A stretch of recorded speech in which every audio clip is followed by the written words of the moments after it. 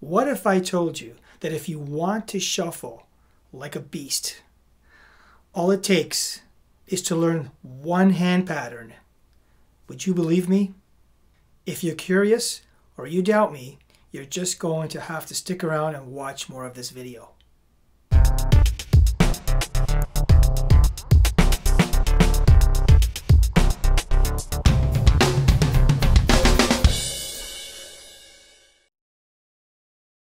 When you can do this one pattern, you'll be able to play this.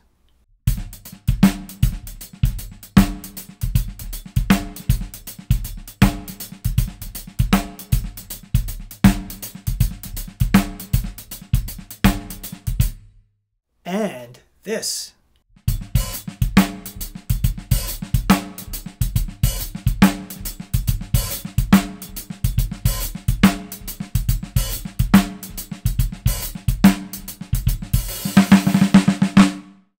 And also this.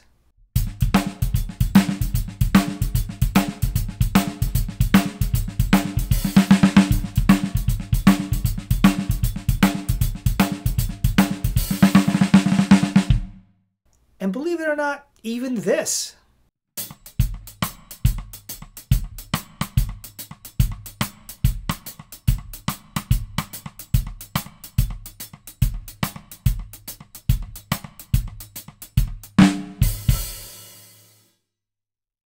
Okay, are you ready for the big reveal? Here we go. So what's going to happen here is I will be demonstrating using the practice pad, the uh, hand pattern that's required to play these shuffles. Once I've done the demonstration with the practice pad, I will remove it and go over to the kick, snare, and hats and apply them to the actual shuffle grooves.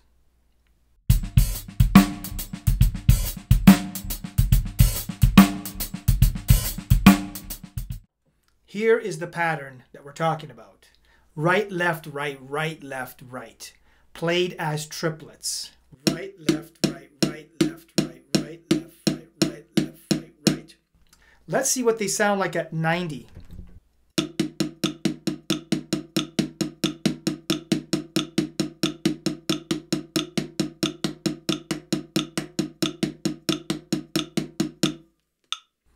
So you practice these as you would with any other hand exercise that you're trying to develop. Slowly work your way up tempo-wise. In this case, let's say roughly at around 150 beats per minute. When you can do this at 150 beats per minute, check mark. Now you're in the game. So let's see what they sound like at 150.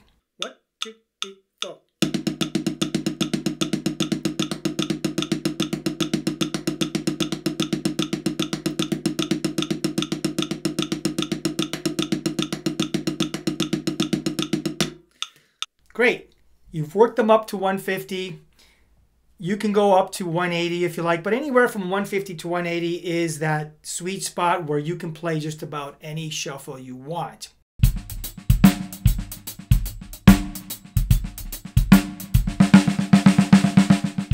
You want to now pay attention to the left hand and play that with your left hand at lower heights.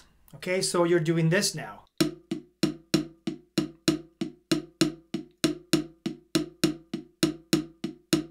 So work your way up until you can do them at 150 once again, which is roughly around here.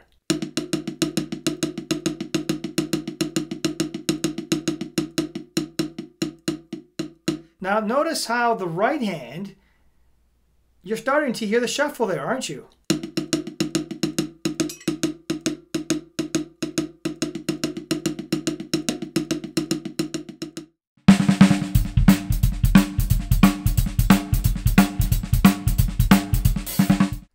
Step now is to add the backbeat.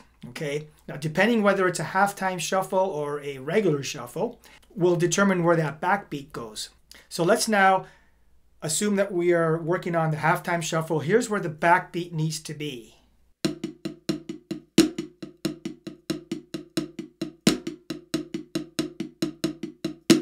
So where the backbeat is, you're actually doing simultaneous sticking, followed by that extra lower note right after the backbeat.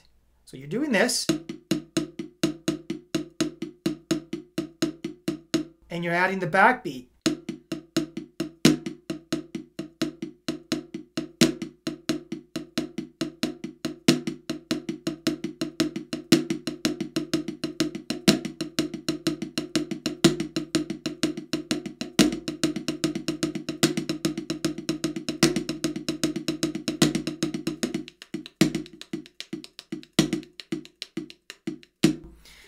Okay, so you're almost there now.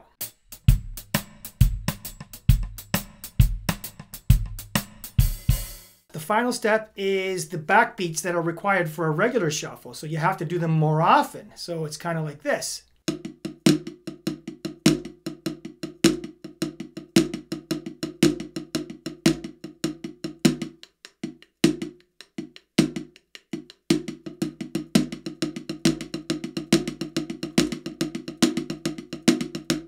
So treat those four examples, those four practice pad examples, as hand exercises that you're learning from a book to develop your hands.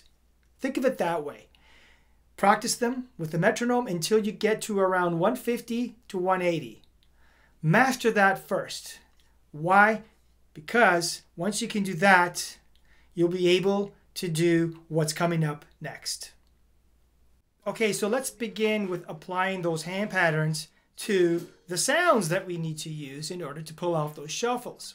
So the first one that we did, the first backbeat version was this.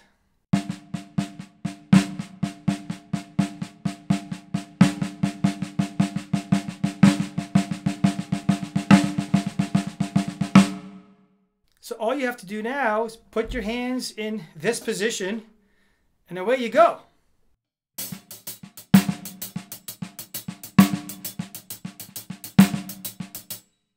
Now, if you like rim shots, you can do that on the backbeat if you like.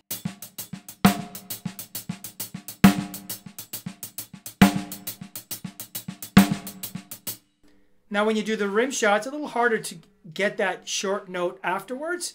Requires some practice. But if you are not comfortable with rim shots, no worries. Just make sure you hit the backbeat pretty hard.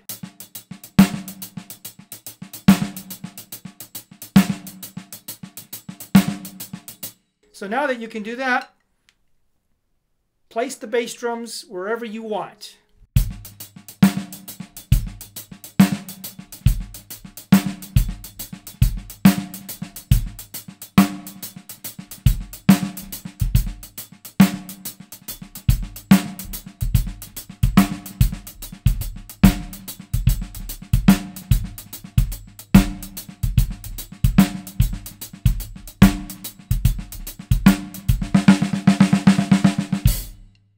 Case, that's the Jeff Porcaro Rosanna groove.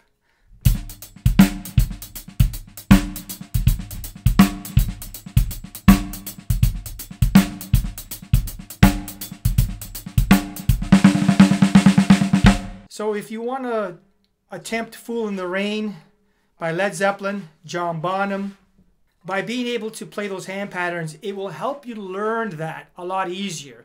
Now, I'll make an attempt. It may not be exact, but you'll get the gist of it. You'll see how this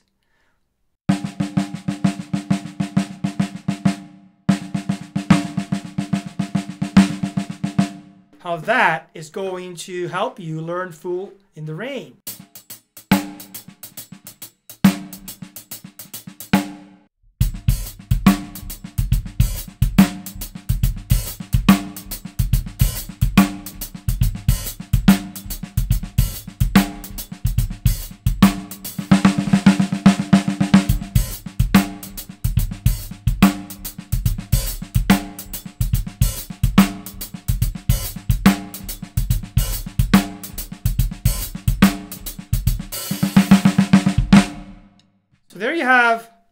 The Rain. Now, it's not the greatest version. I'm not John Bonham, nor do I claim to even come close to his awesomeness. Those hand patterns that are developed. If you don't develop those hand patterns, it's going to take you a long time to even get close to this, okay? So now when we're talking about a regular shuffle,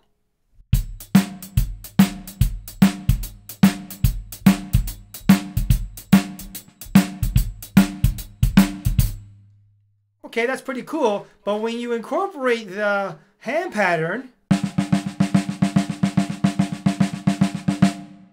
into that, with the backbeat happening all the time,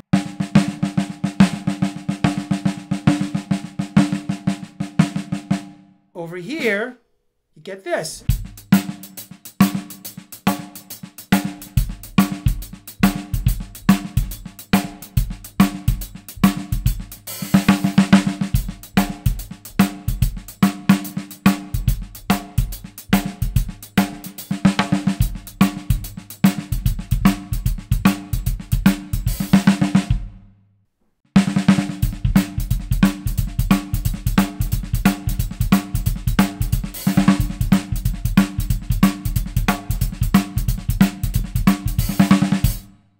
Now let's switch gears here for a second.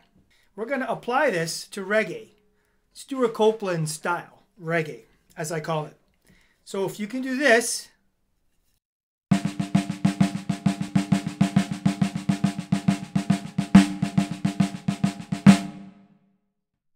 and you move your hands in this position, look what you get.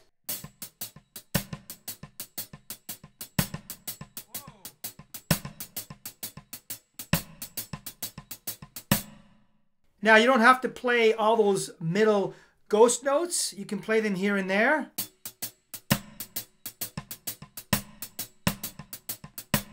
Insert the bass drum.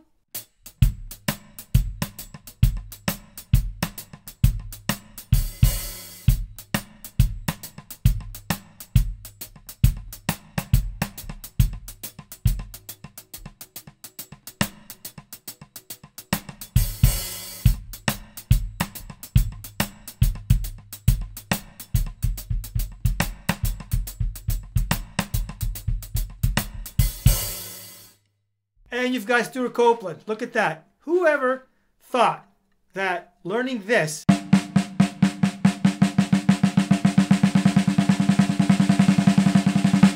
as a hand pattern would lead to all these amazing shuffle uh, grooves that were demonstrated in this video. It's just amazing. So what's the real lesson here? Is it that you're learning how to play shuffles? Well, not really. The real lesson here is that when you want to learn anything in drumming, especially when it's pretty complicated, you have to strip it down to its bare minimum. The blueprint, what's going on with the hands and the feet. When you can break it down to that level and then turn it into an exercise and get it to the tempo that it's required to be, then it'll be easier to learn whatever it is you are wanting to learn. I will be making references on blueprint drumming in future videos and in those videos basically I will show you the blueprint. You learn the blueprint and then apply it to the drum kit and voila you're able to play whatever it is you're learning. This approach is very very effective and it'll save you so much time as well. So stay tuned for future videos when we get into this kind of stuff. Click like if you like this video. Share it to as many of your drummer friends as you like. Leave a comment if you have a question or something you want to mention. If you do any of those three or all three of them, you're actually helping this video reach out to all those drummers who are looking for this information. Well, I hope you have enjoyed this video. I had so much fun putting it together. I mean, who doesn't like to shuffle? It's just one of the best things about drumming. It just feels good and it sounds good. It's good all around. So remember, stay well, stay safe, practice, and most of all, have fun. We'll see you on the next video. Take care.